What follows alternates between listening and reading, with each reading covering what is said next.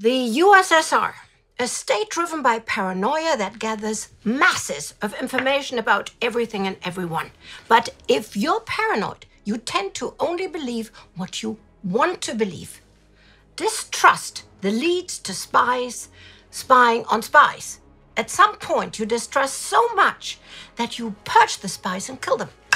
So you need new spies, and new spies spying on the new spies, creating the biggest and possibly most dysfunctional espionage organization in human history.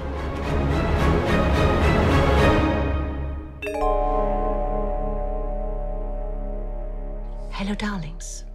This is Spies and Ties, a sub-series of World War II in real time, and I am Astrid Deinhard.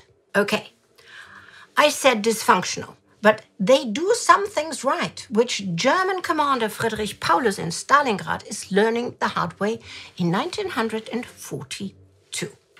Whatever Paulus does, it seems like the Soviets already know that he will do it before he does it. It seems that way because they do know.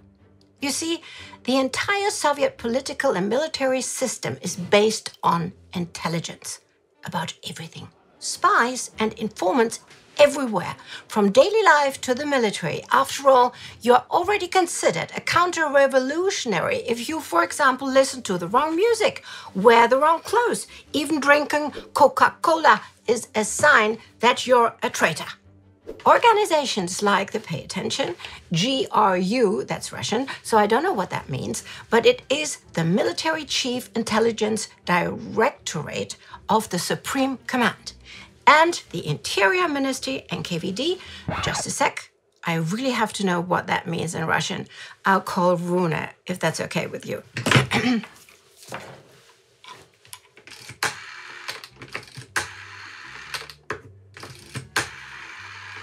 we have short numbers here. Uh, Rune? Oh, hello, Astrid. Hi. There's here's the thing. What is GRU in Russian, and what is NKVD in Russian? Главное разведывательное управление. GU. Главное Okay. управление. Uh-huh. Right. That makes it easier a, li- a bit. Okay, and NKVD? Народный комиссариат внутренних дел. I will not repeat anything. No. Народный комиссариат No, no, no, I can't re- I can't repeat that. But thanks a lot. See you soon. Okay, right? Bye bye, love. okay, so that is the secret police of the NKVD and the GU. They have huge networks of informants and spies spitting out thousands of reports which flow all the way to the top. Because in the Red Army, every soldier is expected to contribute to map out every single detail from gun positions, weapon types to defensive measures, and, of course, judgment of enemy strength. Outside of the Soviet Union, they can easily recruit agents from millions of communists, more loyal to the ideology than their own national government. So, the handlers and diplomats working for the GRU, no, GU, soon have a vast network for foreign informants and spies all over the world. Moscow provides large sums of money, training, and piles of advanced equipment. It's hard to say how many spies there were exactly, but it's many dozens of cells relying on thousands of people.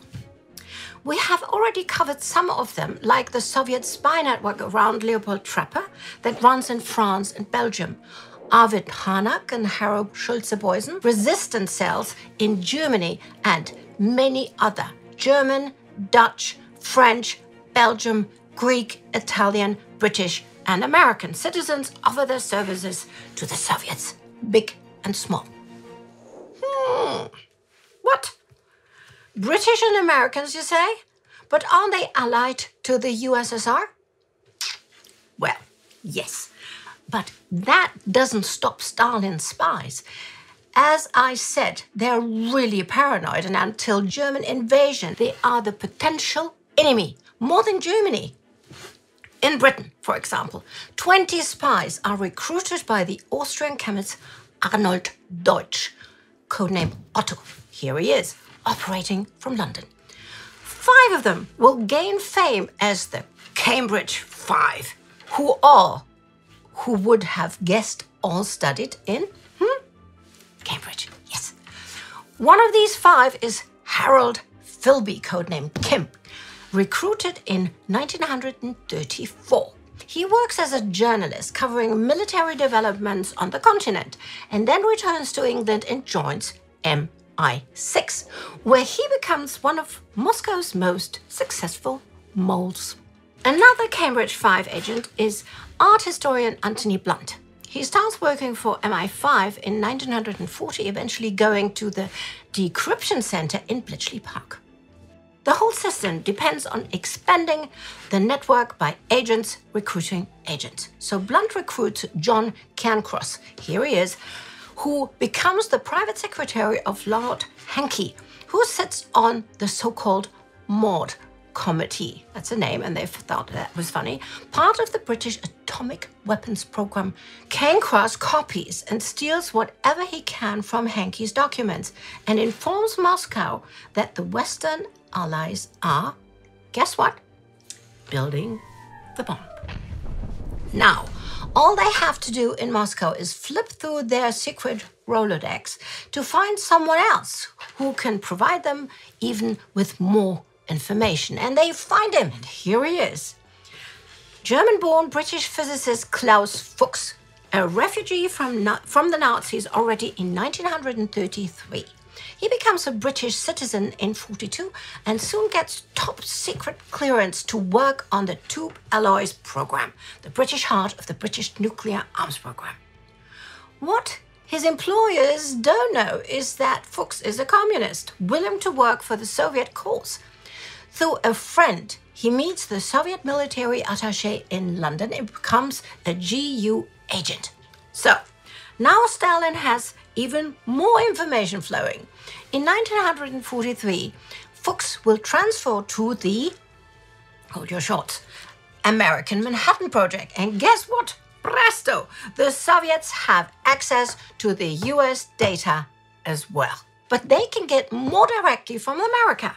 Back to the Rolodex. This time, the Soviet spy master in the US, Semyon Semyonov, provides a new entry to Manhattan.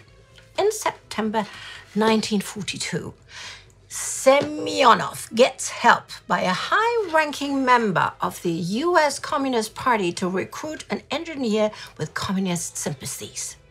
Julius Rosenberg, who is working at the Army Signal Corps Engineering Laboratories. Not only does Rosenberg get the Soviets thousands of documents about radar, signaling, and radio technology, he also recruits five more agents and his wife. Secretary Ethel Rosenberg starts handling the information flow. Ethel, also a communist, of course, has a brother, David Greenglass, who is a communist. And guess where he's working? The Manhattan Project, of course. Soon, he too is working for the NKVD and GU, and he's not alone. In all five spies are known to have infiltrated the Manhattan Project, but the Soviets make sure they don't know of each other. Fuchs will be uncovered in the 1949, and Greenglass will be caught up in the arrest of the Rosenbergs in 1950. But the other three will go undetected until researchers uncover evidence of their existence in the 1990s. And then it gets cold out there, right? It's a bit more complicated to spy on the Germans. After all, they are the enemy and expecting Soviet espionage.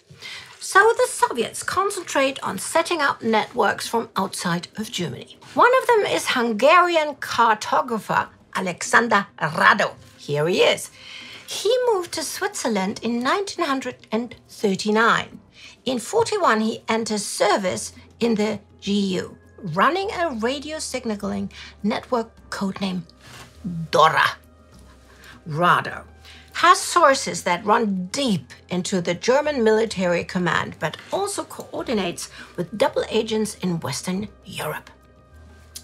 In early 42, Rado is the first to reveal the plans of Fall Blau, the attack towards the Caucasus, based on information from French intelligence officer Georges Blanc. As always, the Gestapo are on Blancs and Rado's heels as the Swiss detachment of the Rote Kapelle. After Trepper's network is rolled up, it is Rado's crew that takes over as the leading Soviet intelligence cell in Europe.